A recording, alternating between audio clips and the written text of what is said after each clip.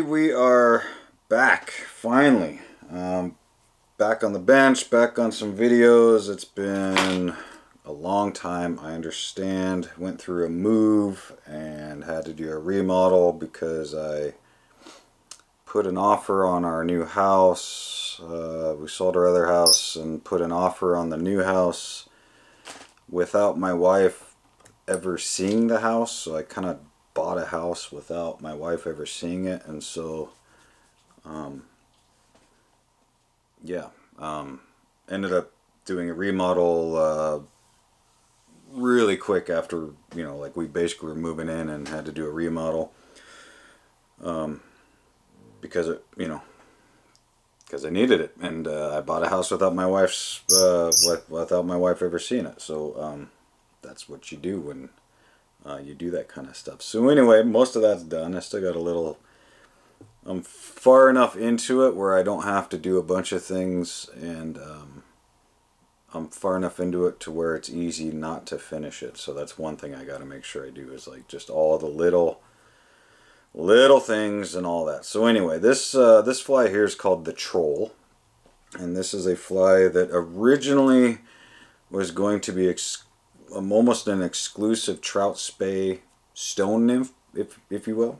Um, something you could swing that was kind of streamer-esque, but uh, it ended up being a fly that really works for trout spey, standard indicator nymphing, and euro nymphing. It's just been a killer. So. Um, uh, you know, if there's if there's anything Euro nymphing taught us, it's that trout are kind of dumb and we can get away with a little bit more than we thought we could.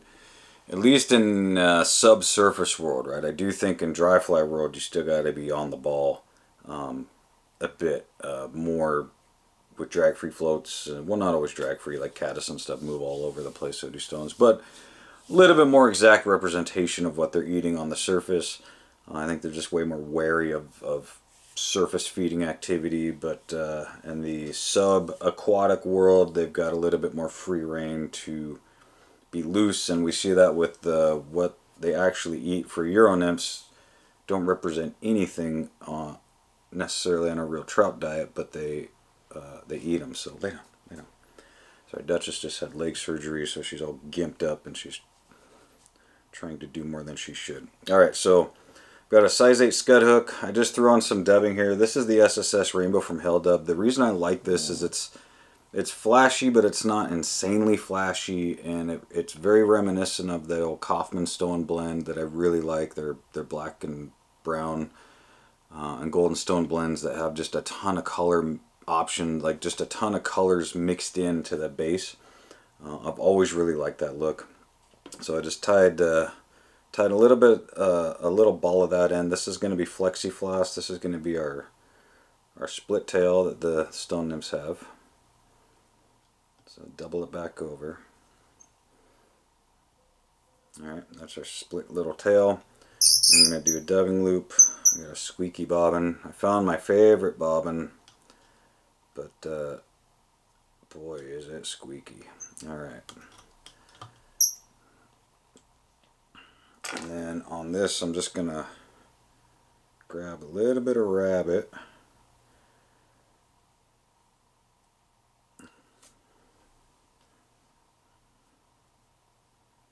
It's probably too much. We don't need much at all. A little bit of rabbit, real short.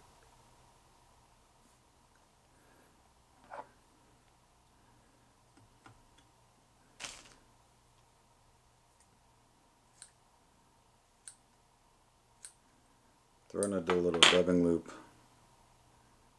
Spread it out and then give it a zip. And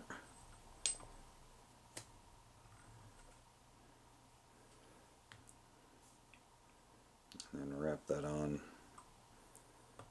So the whole premise of this fly is movement and flow. So the reason uh, the reason I chose to do this style is on the swing. Um, a lot of flies you need to on the on the swing because originally this was a trout spey specific fly. On the swing, you're you have to put movement into the fly if you're going to get movement at all because there's no current flow um, like like rubber legs and all that don't necessarily move as well on the swing as they do dead drifted um, just because you don't have the currents hitting them in, in the same manner. So I wanted to create a stone nymph that was, I'm going to trim these to about one and these are about two times the length of the. So I just wanted to create a trout spey that uh, trout spey stone that wasn't as rigid as all the other stone nymphs with the larval lace bodies and woven bodies. I wanted something just that had a lot of action to it, you know. Um, if you look at a stone nymph, um, I'm just going to throw a little UV cure on this.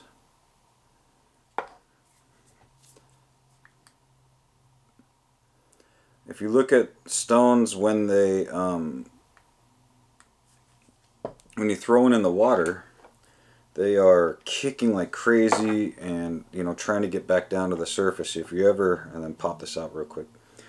If you ever look at a stone go grab a stone fly off one of the rocks and take a look at it and then throw it in the water and you'll watch that thing just go erratic as hell kicking down and trying to get back down to the bottom underneath the rock.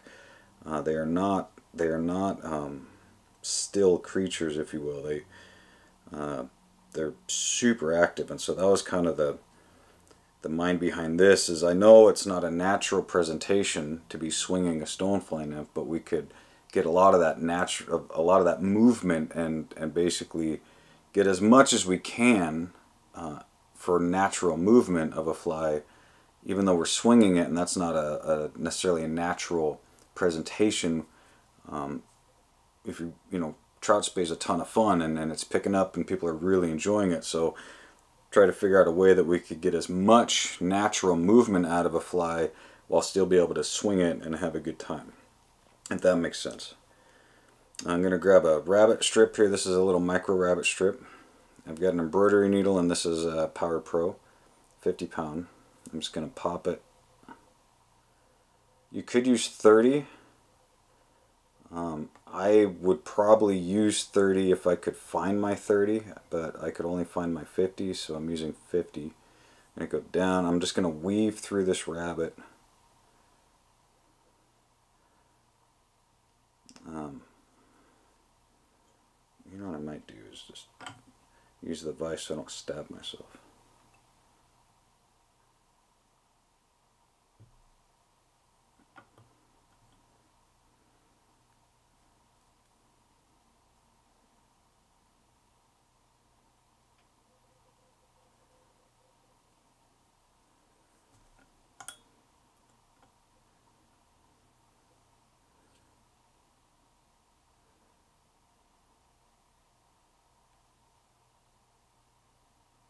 Let's take a second, just pop it through the rabbit.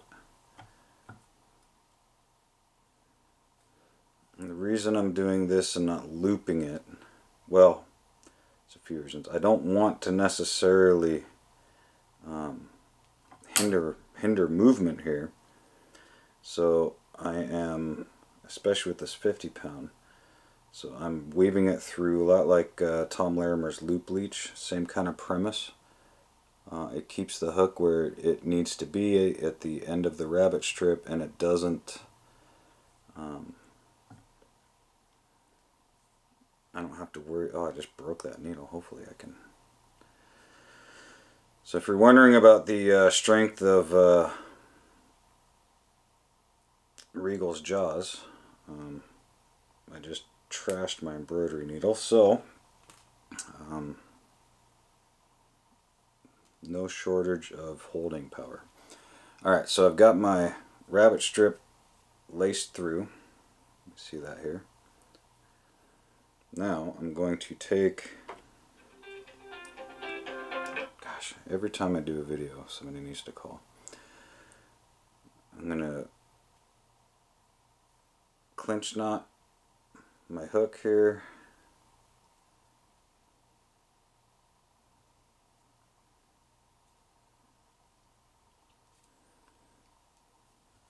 put it in the vise and give it a good tightener downer.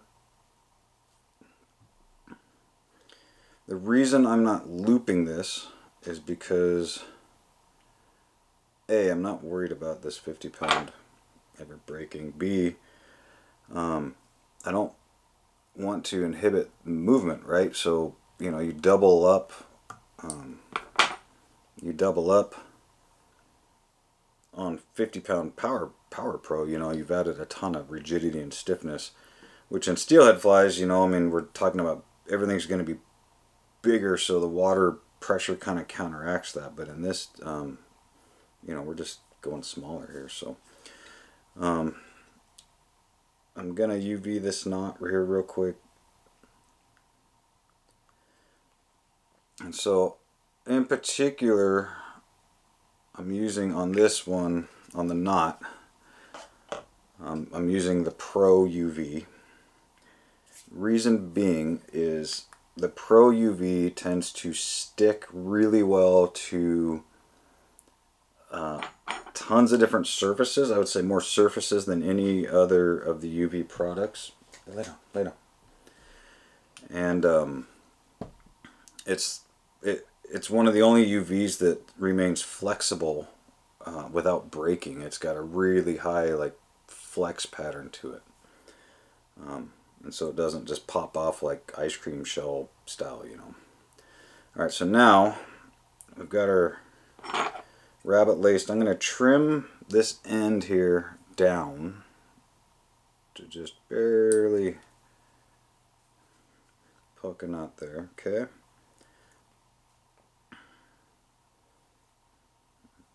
And that is going to be the body of our new stone nymph. So now I'm going to take this off. I've got these two little jig bombs. These are an Umpqua, um, I guess I need to debarb it for the jig bombs. This is an Umpqua,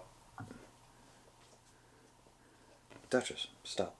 Hey, stop. Uh, Umpqua product and what they allow us to do is create a direction directional um, uh, directional uh, up or down orientation without a bead or anything like that. I mean, it is a bead, but you can you can pick exactly what you want to be the bottom so uh, which say say uh, regardless of hook orientation right? So usually the hook determines the up or down because there's more weight at the bottom of the hook than the top right? Because you got the bend and there's more there's just more metal down here. Um, but these you can actually write a hook up and then use these on the bottom and they just direct your fly so you actually have up and down orientation uh, no matter what's going on with the rest of the fly, which I think is really cool. Now, in this particular fly, we're just going to cut this off anyway, so it doesn't matter. So this hook here doesn't it doesn't matter. I mean, I don't even know what kind of hook this is. It's just a 3x long, like size, I think 8 or whatever, cheap hook. I've had them forever. They're just like in a generic bag. I don't even know who made them.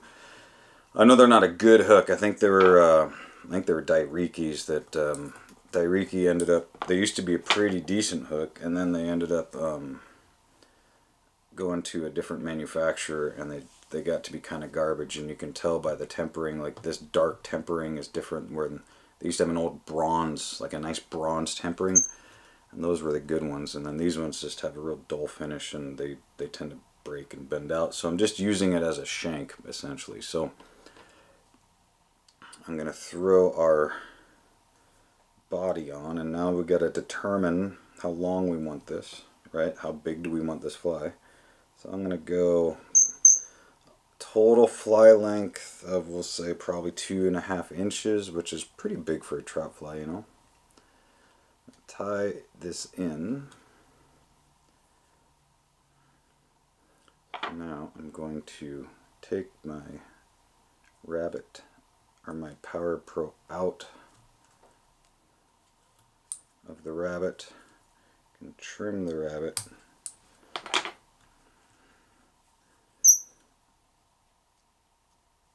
and then wrap the power pro back to really lock it down and now we've essentially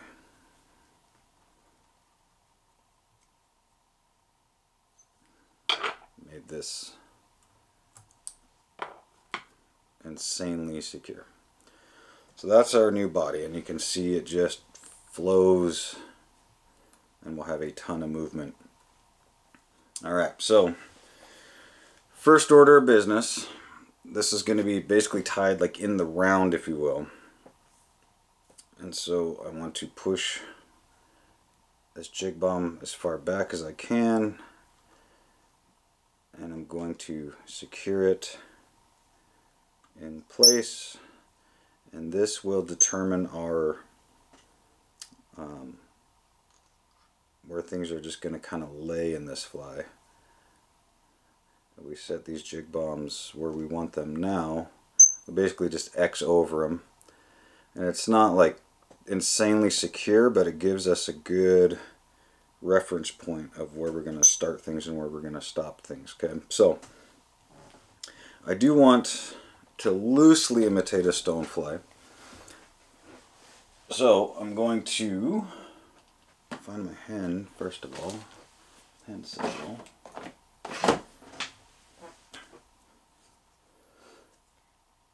Alright, so I'm going to throw a wing case in here. Um, and you can use a bunch of different things. I'm just going to use this Firefly Flash just because I want, uh, I don't know, I just think it, I just like the way it looks.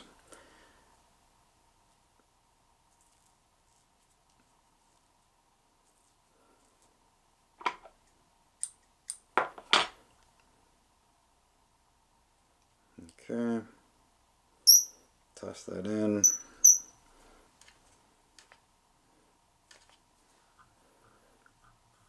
I'm going to add some dubbing.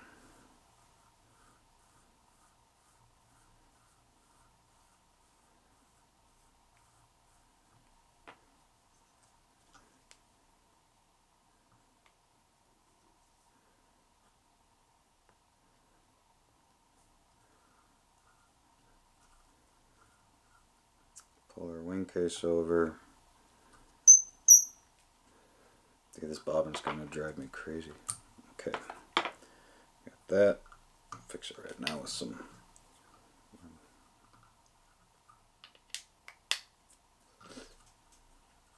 There we go, that's better. All right. Cool, so now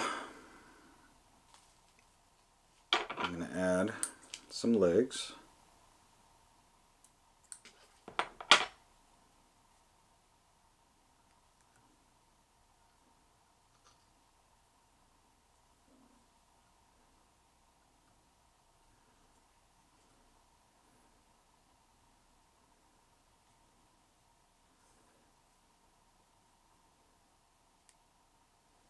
Alright.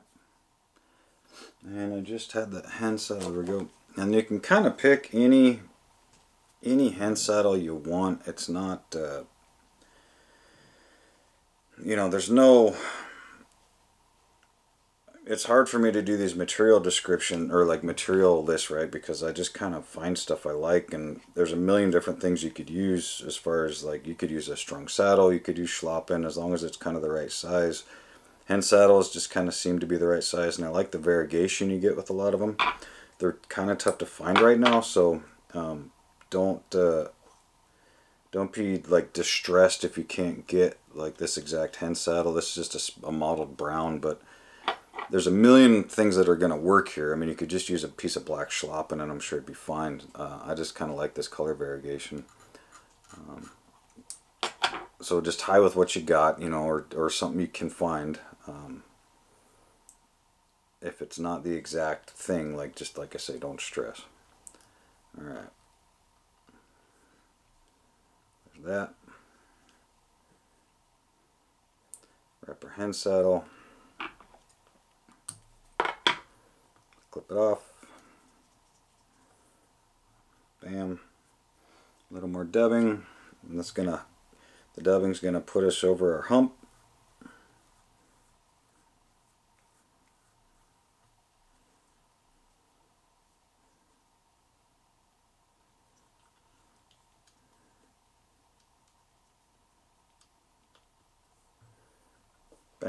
Just like that. And I might trim, actually these legs are okay. I might trim them down just a tiny bit.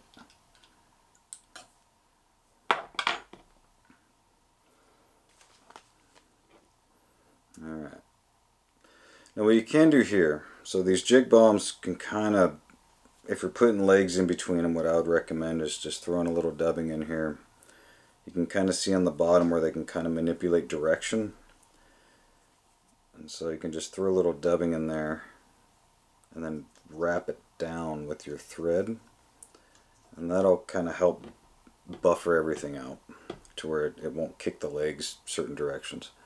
Alright, second set of legs.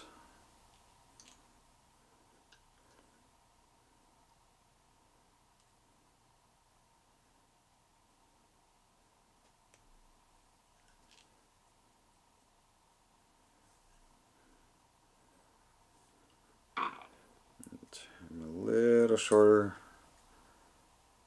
little shorter than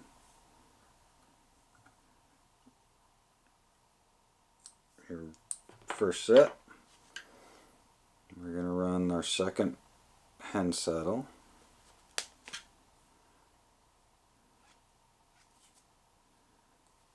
Oop, come back.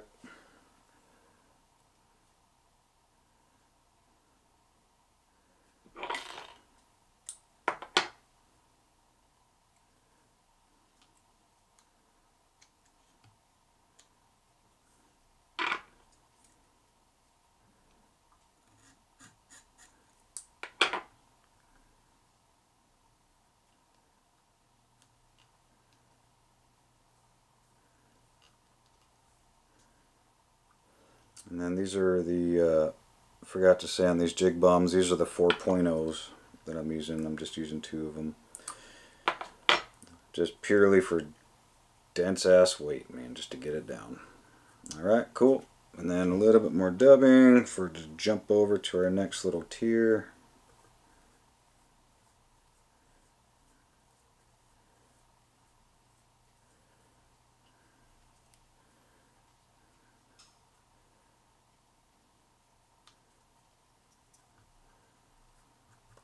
Alright, and then last set of legs.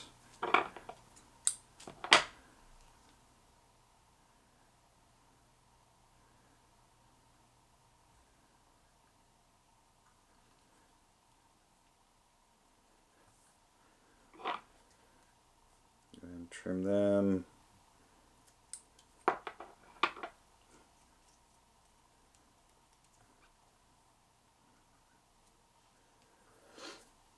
Last hen saddle. So three stages just like the uh, insect.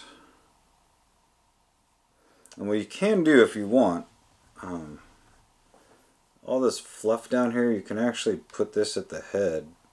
You can tie it in kind of down on the feather and then just use this marabou at the head um, to create more flow you know um, again there's a lot of so if you have a really short feather um, just use the use the fluff use the marabou.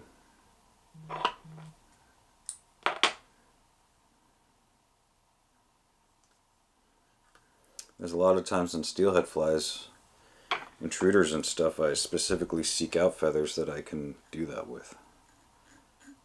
And there's no there's no difference here as far as what we're trying to accomplish um, just movement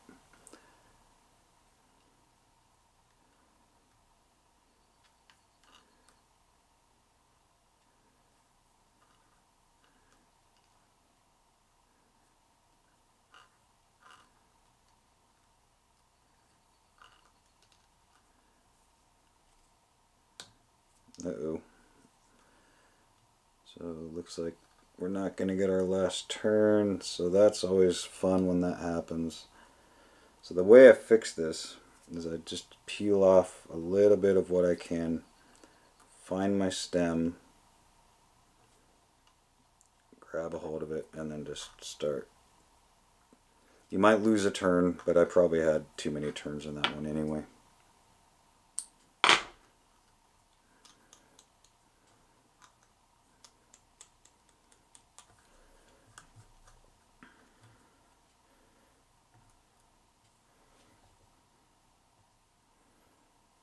Alright, now I'm going to look at my Probably trim these down a little bit here.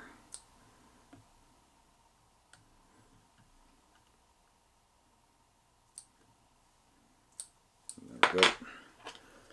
And then if you want, you can throw, like, I might just do it just to show you, but you can always throw just a little dubbing head on here. More of a, like a traditional stone kind of dubbing nymph. You can throw a little front antenna in it if you want. Um, really not going to matter, I don't think. But can go that way.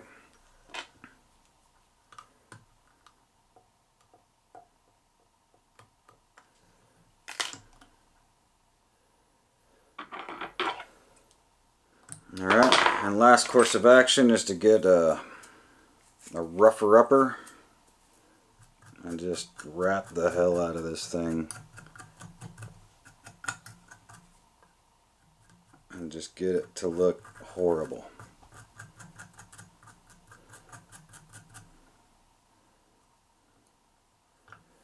And there you have it. So now I would I don't have my clippers. I have no idea what the hell happened to them, so I'm hoping this works. Like I say, these aren't like the best hooks, so look at that. You got it. That doesn't always work, right? So just depending on what hook you've chosen. Um, sometimes you, it'll break like up into your body, so ideally you still want like clippers, but um, that is the troll. Again, trout spey, cool little stone nymph, uh, swinger trout spey. Uh, it will have a ton of action for you. Um, again, you can nymph it, you can euro it, you can. It's heavy enough to euro nymph. A lot of different applications for this fly, but originally for you know for people that want to like do some trout space stuff in the morning of like the hatch. Right now is the perfect time for this fly. Um, We've got some cold weather. The some bugs are out, but you know we're still in major nymph migration, and fish um, really could care less that there's some bugs around. I mean, you might find a few risers in the evenings right now, but we're we're a little bit away um, from the main event. And then, you know, in the mornings, if you want to head out early, um, you can always swing swing nymphs on the trout spey, and then you know hit the dry flies uh, afternoon and evening. So anyway. Uh, good to be back. Thanks for hanging in there, everybody, and uh, understanding the uh, position and all of that. And uh, hope to see you soon.